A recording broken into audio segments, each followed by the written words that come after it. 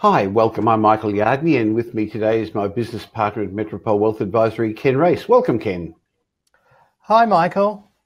Now, Ken and I have decided to do more of these informational, instructional webinars because we used to do a lot of traveling around Australia, do seminars around Australia, and I guess this is the new up to date way of doing things. So, thank you for joining us. And I just want to explain this is not a sales webinar.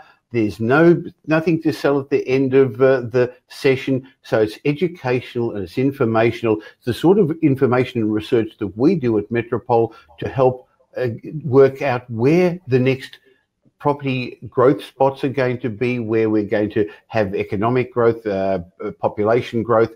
So we're going to peek behind the curtains at some of the research that we do. And at the end of it, if you do want to have a chat with Ken or our team, sure, we'll tell you how to do that. But the main intention is to give you lots of information. And today it's about the economy, and there's lots of charts and graphs, but we're going to debug it for you, we're going to unpack it for you, we're going to simplify it for you. So do yourself a favor, turn off your mobile phones. I have, turn off the other distractions. We're going to hope to get it through in half an hour, and because there's lots of good information, at the end of which it will give you a better idea of how you personally can research because you're going to understand the research we do, but not just what the research is saying, how we think about it, which I think is more important. And Ken, you've been a student of economics for a long time. I know you love digging into all these things. So we've got some fun graphs to show the people, haven't we?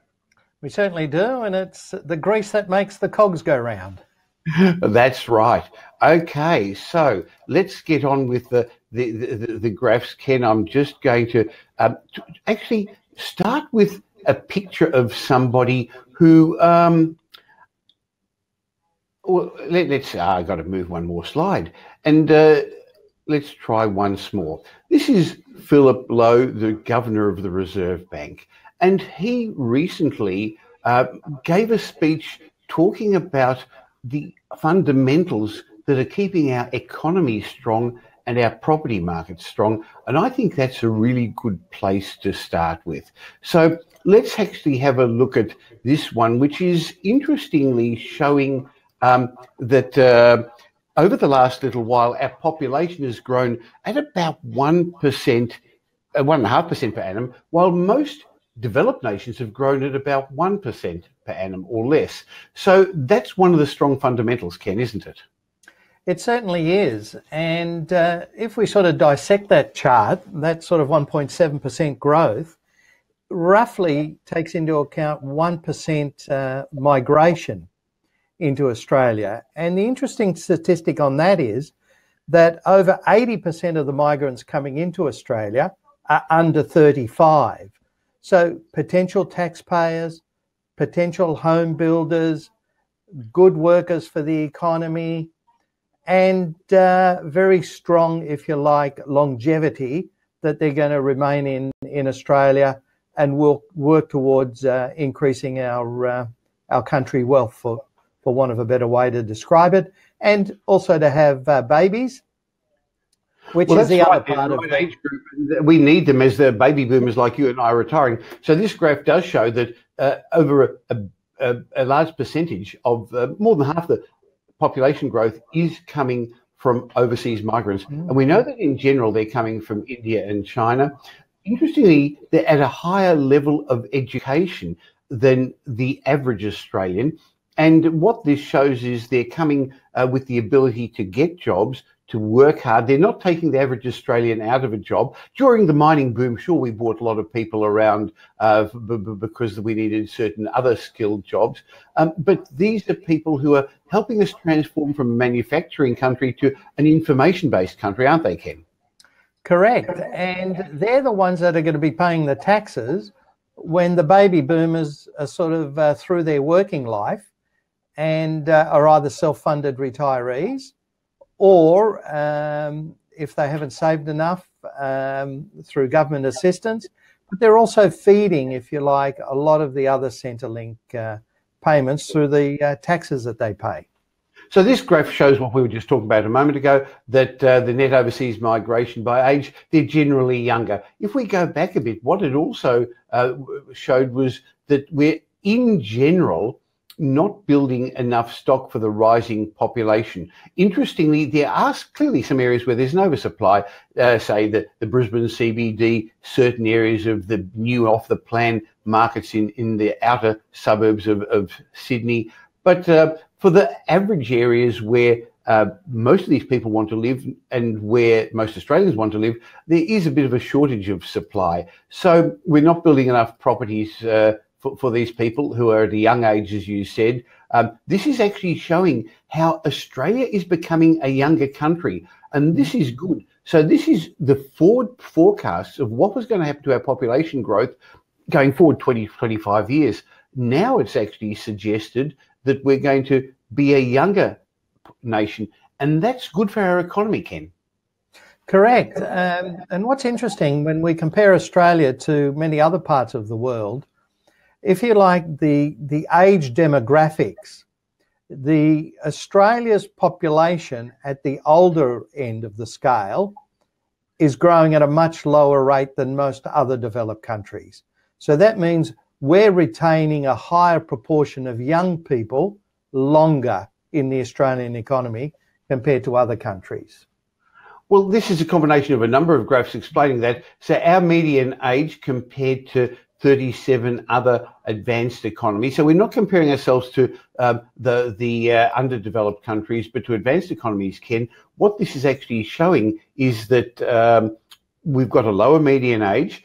It's a good to be a young country. Look what's happened to Japan and those older countries. Um, we're actually a more fertile country than a lot of places. Yeah, and I looked at that and wondered why, but uh, maybe it's the water we drink.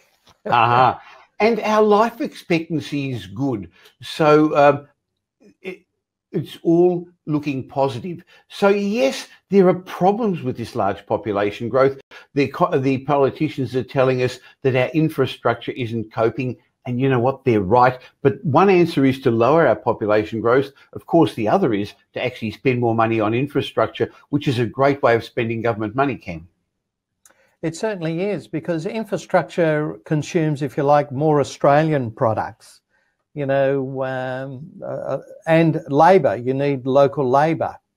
Whereas if and you're going to be building a, a yeah. coal mine, uh, you're importing a lot of the machinery. And uh, while there's a lot of workforce there, it's very specialised. And that's when we saw in the last resources boom, a lot of the migration came from specialty workers that now isn't at the same high level? Well, one of the concerns we had in the past was that as the baby boomers are retiring, most of them don't have enough money in their kitty. Most don't have enough super. Many are going to be dependent on the pension. Many are going to uh, have to have more health care. And how's the government going to pay for it?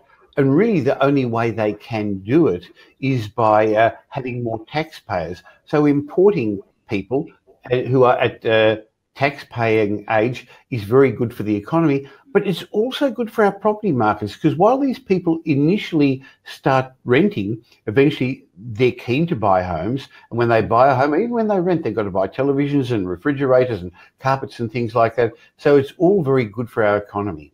I know some people are suggesting it's a Ponzi scheme, but there's so much room for us to grow. Such a big country and such a small population. We've only just reached 25 million. Um, the government has set a business plan, just like uh, businesses have. The government's business plan is to increase our population. And while it may tinker at the edges a bit, it's this strong increase of population to 40 million people uh, that's going to underpin our property markets. And it's also the wealth of the nation, the fact that these people have got jobs and can afford to pay and can afford to buy properties. That's all very good for us, Ken. It certainly is. I mean, the biggest issue in Australia compared to a lot of other countries is our migration tends to be centred on two or three locations, call it the Sydney, the Melbourne, and a lot of those people are within those cities are coming into the CBD area. So there's a lot of pressure put on infrastructure, housing, uh, and jobs. But really, over the long term, it's very difficult to turn on and turn off that tap.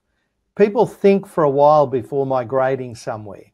So, really, it's people are coming in. The job of government now is to actually, if you like, help distribute that uh, migration to other areas and to make it attractive and to build the infrastructure, the high speed rail, etc., to actually give people lifestyle other than central business districts of the two or three more populous areas. Okay, now we're going to look at the latest graph pack. Every month, the Reserve Bank sends out a set of graphs and also gives us some information about it. But the charts and graphs are interesting, but you've actually got to understand what they mean. So, first of all, I guess the reason we do this, and we do this research at Metropole, is we recognise that property doesn't work in isolation. The Reserve Bank's uh, ideas about interest rates, about where the economy is going, um, all those things affect our property markets. And for some of the people watching this, Ken, I'm sure they're in business. This will be very relevant to them as well, or professionals. So let's start with the world economy. We're not doing too badly. Not doing too badly at all. Um, GDP, that's gross domestic product, that's what we produce either for local consumption or for export. So um, Australia is very lucky that we're in this part of the world where our education is required, our health services, a lot of food. So we're moving to a services economy more than a manufacturing. The other thing, of course, is coal, iron ore exports uh, in volume terms are certainly very high. And we've certainly seen over the last handful of years, prices have been uh, growing. So current prices, certainly for um, uh, iron ore, is almost at the level is higher than what it was in the early 2000s. Uh, so a lot of tax, a lot of income, a lot of employment is coming from that. And we're actually sitting in that part of the world that actually likes a lot of the things that we can produce and uh, create. Well, you can see from the graph on the screen yeah. at the moment, the major trading, our major trading partners are, uh, their economies are doing better than the world averages. And sure, there was a period of time where the world was sluggish. We were worried. And sure, there's still parts of the world that are having troubles, political, social, uh, economic. But overall, uh, they're doing well. And America is doing amazingly well at the moment, Ken, despite all the concerns about Donald Trump. Correct. Um, it was very interesting. Uh, I only heard uh, very recently, in fact, today, although uh, it's hard to put a date on it, given that it's a, it's a webinar, that um, the taxes that uh, the US economy generated in the last 10 months is the highest that they've seen for quite some time, even after they had a tax uh, uh, reduction scheme last uh, October. Hmm. So, and the, the reporting season showing the American, the reporting season showing the American country, companies are doing very, very well. And interestingly, uh, this is Australia's economic growth, and we're growing at around 3% per annum. But the Reserve Bank is suggesting that this may drop a little bit to somewhere between 2.5 and 2.8, but there's no sign of a recession in sight, Ken. Correct. And what's interesting is if you overlay that growth of, uh, you know, 2.5% maybe as, a, as an average number, that's well above inflation. So um, if you sort of take that into account, we're actually creating value in the economy here in Australia. Okay, now around the world, inflation has been low, and that's been one of the concerns. Inflation is low, and uh, that's one of the things holding interest rates down, and also wages growth.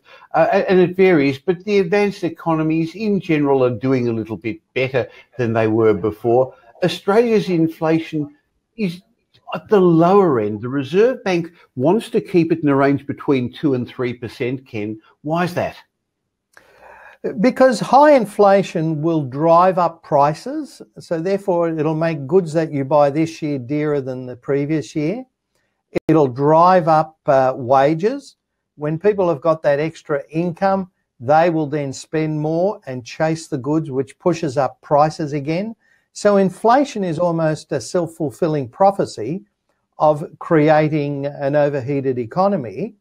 And one of the traditional levers the government had to reduce that was by increasing interest rates, which, you know, we know the uh, the outcome of increasing interest rates. So they've got to balance that inflation, interest rates, and wages, and more importantly, employment, to get to a balanced position.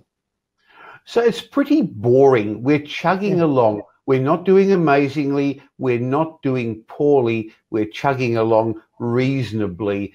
Um, but if you read the media, Ken, uh, you, would think that we're in for a stock market crash, a property market crash. Some of the uh, wild people are saying recessions as well. But that's the, the the world in Australia. What about the average Australian household? How are they going? Look, I think it's one of these, uh, you know, glass half full um, e- equations. So, um, with very subdued, subdued uh, wage increases, there's large parts of the population that are doing it tough. So they're seeing their uh, the costs of living grow, particularly energy um, and some of those other uh, staple uh, requirements, while they haven't seen their wages grow. So they are doing it tough, and those then that don't have a job are doing it tougher again. So it's really trying to say is the gloss is certainly not there, but it, it's an economy that's improving, and all the indications are that we're going to start seeing some wages growth. The government is going to want to try and make sure that doesn't get overheated, but uh, in balance, you've really got to say how much am I spending versus how much of my my income is coming in. Now, with the graphs on the slide at the moment, what we're seeing is the top chart shows consumption, in other words, what we're spending, and that's going up a bit. On the other hand, the blue line is showing our disposable income, what's left over is going down a bit. And part of this is then we are spending, but we're digging into our savings. So before the global financial crisis, before 2008 on the bottom graph, you can see that we were spending more than we were earning. Our savings ratio was negative, And then all of a sudden we started to stash our cash and we were really cautious. We were worried what was going to happen. That also isn't good because if you're not spending and making the economy go around, that's an issue as well. But slowly, slowly, you can see our savings ratio go down. And only this week I heard that credit card debt, the average credit card debt is just starting to creep up a bit. So um, that's in some ways a concern because we don't like people using credit cards for consumer debt because people think the money on their credit card limits theirs, and it's not. It's the banks, it's and you're not, paying yeah. a premium. You're paying a premium. You're paying in advance to, to, to, to get it. So our households are okay, but you're 100% right, Ken. Some are doing it a little bit tough. Having said that, this next graph shows how our net wealth has gone up significantly over the last 30 years.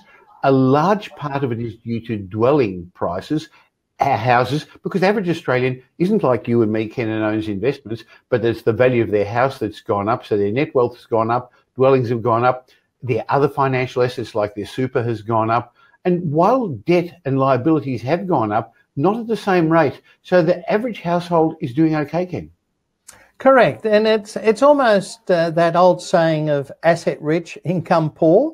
Mm. Uh, you know, you can't spend the bathroom, so to speak so, um, what, what, we've seen is two things: uh, house prices growing, and uh, particularly in the major capital cities, um, and in selected areas of those cities.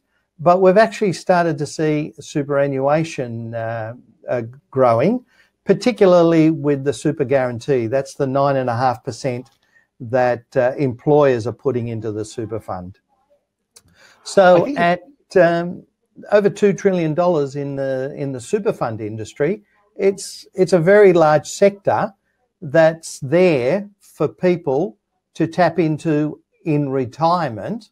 And really, what the government is trying to say is, let's see if we can save a little bit more, so that we're going to be less re- uh, reliant on government at retirement. Now, I'm going to put in a shameless plug. I said this was an informational uh, webinar, and it is. But a few weeks ago, you and I did a webinar on self-managed super funds, and uh, there is looks like there's a window of opportunity for some people, definitely not for everybody, to set up a self-managed super fund and buy a property in a self-managed super fund. So if you're watching this webinar and you're finding it interesting and you're wondering, hey, is setting up a self-managed super fund appropriate for me? Go to property update and in the search bar just do self-managed super fund or SMSF I think is the better one and then you'll actually be able to watch Ken and I and Ken explains who self-managed super funds are for who self-managed who shouldn't go into them. Again in general not specific advice for you. And then also how some people are able to buy properties in their self-managed super funds um, when they can't get extra funding outside. And this is part of this ongoing educational series of webinars that we're planning to do, Ken. So household wealth in general is doing okay, even though it's taking a bit of a dip at the moment. Another factor that we look at when we want to see how property markets are going, a forward indicator is what's called um, uh, consumer confidence. People, when they're confident, spend more. They spend more on cars, on big consumer items, on upgrading their homes, on buying investment properties. And when they're not confident about their financial future or their jobs or the political uncertainty, then they're more likely to put their hands in their pocket. Um, overall, more people are confident than not confident. It's above the 100% line there, or the 100 mark line, the index, I should say, Ken. But, but it's very fluctuating. And boy, with all the mixed media and the political uncertainty, that's understandable. Correct. It's a very fickle thing. It's, uh, you know, when you're happy, you're joyous, you spend. If you're uncertain of the future, you, you contract. And that has a very quick impact on the economy. Because if you don't go out on Saturday morning and, and, and buy your consumer goods, your electronics, that's an instant hit. Conversely, it's an instant um, uh, uplift if you just go out. So consumers' sentiment is very significant, as is business sentiment. Because if businesses are feeling confident, uh, thank you, Michael, for, for the next slide, then they're going to do one of two things. They're going to start producing more. So we've seen in Australia, as uh, we had seen in other parts of the world, stock levels were being diminished. So sales were coming out of stock as opposed to new production. So new production is people, is raw materials, it's distribution, and then the businesses then start hiring. And when they're finding it harder to hire because there's more people in the uh, in the employment, then that's when we'll start seeing some wages growth. Right. So some are, some sectors are employing people and others aren't. Yeah. This graph shows that the finance services uh, are doing okay, but clearly manufacturing uh, and mining uh, isn't. And I think we're going to see in the near future a drop in construction. We know that currently uh, there's not many new building permits development approvals coming through. There is still a lot of construction happening in the next year or two with development approvals taken on a couple of years ago and sites still coming out of the ground. But that actually may create a bit of a hit to general employment, uh, increase unemployment a bit as uh, these building workers who in the past used to work in the mining industry are going to lose some jobs. Ken, I hope the government is going to take this up with infrastructure spending. You'd hope so, uh, because they're similar skills. And certainly when we're talking about um, construction of dwellings, apartments, those sorts of things, they're many years in the planning. So that's why we're seeing those projects that are currently started they'll uh, be completed over the next couple of years. So people aren't now investigating into new projects that will take over once the current ones are finished. So infrastructure, I think, in Australia is going to continue to, to expand and grow for quite some time, if only because of the lead time to start, but also to finish and can I say, you know, maybe as a dig to some of these um, uh, people who are creating infrastructure, they build them too small to start off with. yes. going back and having to expand a road, expand a, a bridge. And the cost of that expansion is quite significant compared to the original cost. So there is a little bit of a misnomer on you know, make them small to start off with, and then I'll um, I'll expand it. Because what we're seeing is the uptake of the usage of those roads, those other infrastructure projects, is much quicker than was originally anticipated. Well, the population growth has been one of the factors, yeah. hasn't it? Yeah, each state is performing differently. We can see that the strength of the economies of the businesses, uh, uh, particularly if you see the green line as New South Wales and Victoria outperforming the averages. Interestingly, Western Australia, after a long dip, is starting to pick up a little bit with its own economy. That's a good sign. Correct. Um, it's it was very resource driven, and uh, but luckily over the last couple of years we've actually seen increased demand for some of our uh, iron ore in particular, and uh, some other commodities which Western Australia has an abundance of. Um, uh, LPG, the gases, is another energy source, so significant volumes there. So while Australia doesn't consume a lot of those goods internally, they export them. And, uh, and therefore, that's a significant boost to the economy. And as we've seen there on that chart, WA has just had a little bit of a dip of, of recent times, but it's come out of a significant doldrum. Now, we're talking about the economy here. We're not talking about the property market. Western yep. Australia's property market's been falling for four and a bit years. Having said that, what's going to happen um, is it's going to hover near the bottom for a few years before it starts to pick up. Not time for a counter-cyclical play there, in my opinion.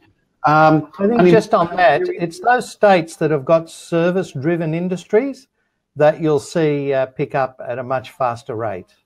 Good point, Ken. Now, different states have got different unemployment rates, and clearly those states where employment is strong, leading to people wanting to move there, feeling comfortable about buying, they're the states that actually uh, have got stronger property markets as well.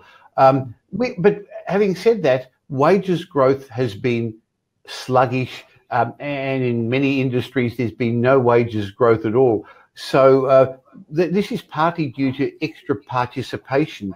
Uh, so while we're creating new jobs, Ken, there are more people joining the workforce or coming back to the workforce. Yeah, I, I think um, it's a function of that, of course. Um, industrialization. Um, so the jobs of old aren't the jobs of today. Uh, less people are needed for any particular uh, job. Um, education um, standards are much higher for the same job today compared to uh, five, ten years ago. So um, we're actually seeing then those three or four factors suppressing wage growth.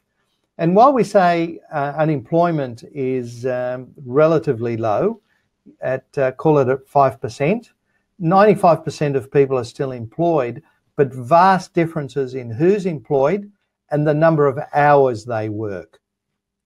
So it's a bit of a false uh, statistic to only look at that unemployment uh, figure mm. when correlating it back to wages growth. Of course, as property investors, we're interested in what's going to happen to interest rates, and it's really unlikely that the cash rate is going to increase until wages growth goes up. Wages growth, economic growth is going to lead to eventually a bit of inflation, eventually push property prices up. But there's no reason for the Reserve Bank to increase interest rates for at least another year and probably 18 months. Uh, and most of the, the markets are suggesting that as well. But it's not interest rates that's held up our property markets. What's created the um, decline in interest in our property markets, actually not interest, it's ability to buy, is a credit wow. squeeze. And the credit squeeze has been created by APRA. So this is showing you that over the last little while, investor loans, the green line has dropped off significantly. Sure, there's still investors out there buying, and that's what this is showing, um, but it's decreased a bit. Owner occupiers are out there, but total home loans um, have been uh, uh, low for a while, dropping. And so when people are looking for loans, the banks are being more cautious. They're a bit allergic to debt, uh, to, uh, to risk at the moment with all that's happened in the Royal Commission, and they're looking at responsible lending more carefully. But it's impacting the property market significantly, Ken. Yeah, and look, uh, having been through quite a number of cycles, uh, given my grey hairs or lack of hairs, what's very interesting about this cycle is the the main instrument to um, to, if you like, uh, reduce the pressure on house prices has not been interest rates. Traditionally, no, if, uh, like the old days. Correct. And, you know, um, so it's this artificial um, instructions to the banks to not lend to investors, to take into account higher living costs, to, to use seven odd percent as an interest rate to determine ability to repay. So that's actually sucked a lot of people out of the market that could have got a loan a number of years ago. So I'm not saying that's good or bad, but there's been a drying up of available money and therefore not as many people in a lot of areas. Having said that, there are still some isolated pockets in Australia that aren't doing too bad, but I think we're going to see this pressure on um, on the houses. I think over the next uh, little while. Well, we knew that the growth in Sydney and Melbourne was unsustainable. We knew it couldn't keep growing at double digit growth. And I'm much happier that this has happened in a low interest rate environment than the old fashioned way of raising interest rates, because it's going to be a period of time when the average home owner is not going to run into mortgage stress. We're not going to see young families get into trouble and have to lose their homes. And we're not seeing businesses having a concern about borrowing because of high interest rates. So it's actually, uh, in my mind, a much better outcome than the way the Reserve Bank has done things the last couple of times. Um, house prices and debts always in the uh, news, Ken, isn't it? Yeah, that's right. Um, and look, I think when we look at house prices, you know, it, it's the old, uh, you know, stick your finger in the dike to try and stop the the water flooding in. You know, we've got reasonable uh, employment levels, reasonable wages, uh, population growth, centered economies. So there is not that many places people can go and uh, build or um, uh, buy new housing. So very limited stock. So it's just, you know, um, what is it? A, a natural, um, uh, I don't know, physics that house prices will keep growing, particularly. Well, the fundamentals um, are there. And yeah. Interestingly, I remember at the turn of this last decade, 2010, I sent out a press release and the media loved it and got a lot of attention saying median house prices in Sydney are going to be a million dollars by 2020. Well, I, all I did was I extrapolated past growth yeah. and saw what was going to happen in the next 10 years, and I was wrong. They got there much sooner. Much Similarly, uh, Aussie Home Loans has recently used similar figures to suggest that median house prices in Sydney are going to get to six and a half million dollars in 25 years um, if the same growth has occurred. In Sydney and Melbourne, capital growth on the average home, the average uh, home price went up just over 8%, property over the last 25 years, meaning property values doubled every seven years or so. In other states, it was a bit less, but overall in Australia, property values doubled every 10 years. Now, with all the other things that you get from Ken and me and on Property Update, you know but not every house is going to increase in value and not every property should do that. So it's not a blanket statement, but the fundamentals are there. I think that's what we're trying to show today, Ken, for, for a good, sound future. What this is now showing, this particular graph, is that dwelling construction is low. Uh, you can see over the last years, the green line at the bottom, how over the last decade, the amount of new approvals for medium and high density, actually high density, the green line is, has outpaced uh, and now we're creating more high density than detached houses. That's an interesting trend. We're trading uh, space for place. We're trading our backyards for balconies and courtyards to live in the right places.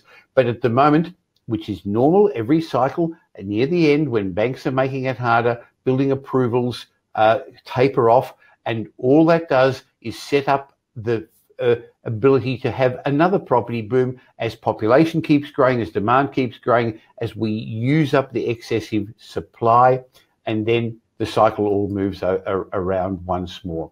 So, Ken, we've had a bit of fun talking through this. There's lots more, so we'll do this more often. But if the you who are watching this webcast got some benefit from this, please do us a couple of favors. First of all, tell somebody else about it. And if you like this, leave a comment below because if you are enjoying this, Ken and I will spend time preparing and doing more of these for you to keep educating you. If you'd like to understand how you can grow, protect, and pass on your wealth, the team at Metropole are here to help you. By the way, we've got no properties to sell, but we've got access to every property on the market uh, because our buyers agents team uh, got on the ground teams in Melbourne, Sydney, and Brisbane. Having said that, though, it's got to be in the right order. So we believe you should have strategic property plan first, where we'll map out your property future. And Kennedy's team specialize in doing a strategic wealth plan, which really goes much further than property, doesn't it, Ken? It goes into asset protection, um, uh, uh, uh, estate planning, uh, superannuation, um, and a whole lot of things that I can't think of the top of my head, Ken, but you probably know because boy, have we seen those detailed reports you do, and you personally uh, will spend uh, a couple of hours with each of the clients and then go into a lot of detail in the implementation session. So go to metropole.com.au. Please uh, leave your details there. We'd love to catch up with you. Ken, thanks so much for your time. Thank you, Michael. Thank you, listeners and viewers. Great. We'll catch up with you for another webinar real soon.